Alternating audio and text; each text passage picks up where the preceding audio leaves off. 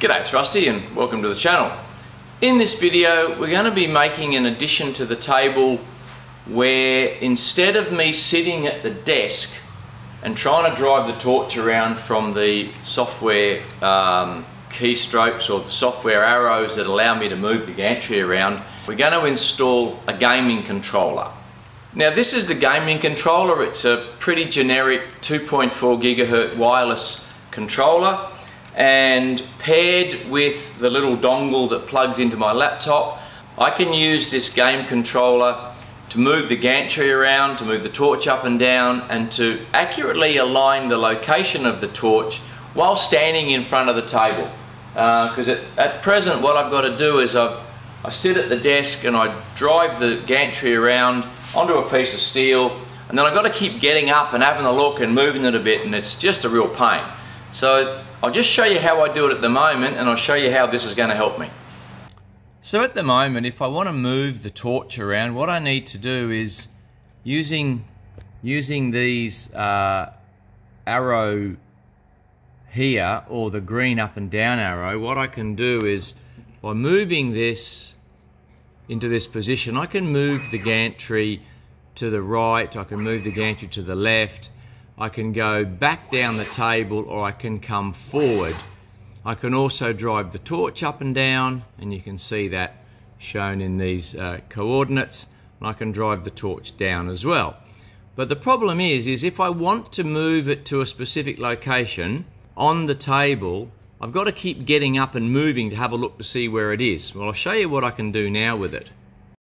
Now this is the MyPlasm software and if I go into the settings, so on the electronics tab, you have a gamepad option. Now, if I click the active box, I activate it and these functions here provide the keystrokes so I can move the gantry here. This is the X and Y, so I can move the gantry forward and back, left and right. This one here is the Z axis, so I can move it up and down. On the back, there's a couple of low speed and high speed alternative buttons, so I can move it at its maximum uh, hand speed or I can go a really slow speed. And this allows me to do several other functions. I can do the Z equals zero function. I can turn the thing on and off.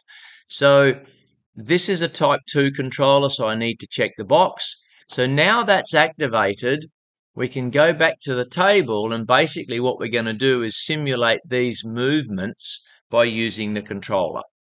Now with the game controller there's a little switch under the bottom. So if I turn that on the little red light comes on which means it's powered ready to go.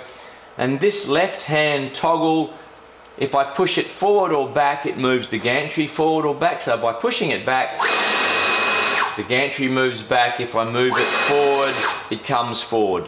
If I push it to the right, it moves the torch on the x-axis to the right, and if I move it to the left, goes to the left. And this right hand toggle allows me to move the torch up and down, so, there. so by pushing it backwards, the torch goes up. If I pull it towards me, it goes down. And on the back here we've got these two buttons. The lower button is configured for slow speed. So if I push the button in and want to move the gantry backwards, it goes, it goes at a really slow speed. I think it's 10% of its maximum speed. And if I push the top button in while I move that gantry, that function initiates the maximum hands speed that I've got inside the software settings. And the beauty of having one of these is I can stand at the table and accurately position the torch where I want it. I'll just move the camera over and show you what I mean. Okay, so I want to put the torch right here in this corner here. So if I use the slow speed button, I can move the gantry towards me I can also move it to the left and then I can also pull the torch down. So by driving the torch down, now it's close to the metal, I can then slowly maneuver the torch to be exactly where I want it to start the cut. So this is really, really handy. Being able to stand here and position it rather than sitting eight foot away on the desk, running backwards and forwards, this really is a no-brainer in terms of to be able to control the position of the torch relative to where I sit. Now I know some tables have swing out arms with laptops and things on them. Well I don't, I have to sit at the desk. So this really is for me, is the way to go.